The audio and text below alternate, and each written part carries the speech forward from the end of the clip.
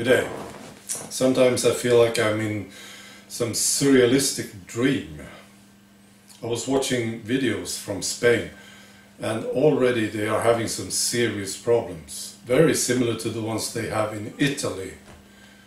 And Italy closed the ports, yes, and Spain opened theirs. So the Spanish socialist government is making sure that this flow is kept open. And the Spanish citizens are already paying a price. It's amazing. And then other nations, of course, will pay a price too, like Netherlands, Sweden, Germany, France, and so on. Hmm. So I was reading a report from Germany, and this was uh, surprising to me. Uh, this comes from an intelligence agency, BFV, in Germany.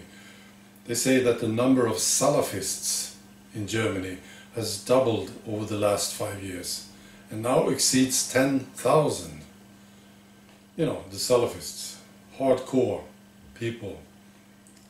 And uh, they estimate that the number of Islamists in Germany increased to at least 25,810 by the end of 2017. That's a very specific number, isn't it?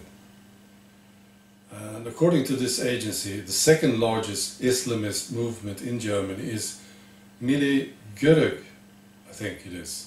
It's Turkish and means national vision. They have around 10,000 members in Germany. The movement is strongly opposed to Muslim integration into European society. Yeah, they are opposed to this. Yeah. In addition to the Salafists and Görüş, uh, this agency estimates that Germany is now home to 1,040 members of the Muslim Brotherhood, 950 members of Hezbollah, and 320 members of Hamas. This report was commented on by this Interior Minister Horst Seehofer at this event, and he said something startling. He's, he demanded that the government sped up deportations of Islamists. And then he said this uh, We do not have anything under control in any area. That's what he said. That's a very promising thing to say, isn't it? So maybe again Germany is taking the lead. They didn't win the World Cup. Maybe they will win this one. I don't know.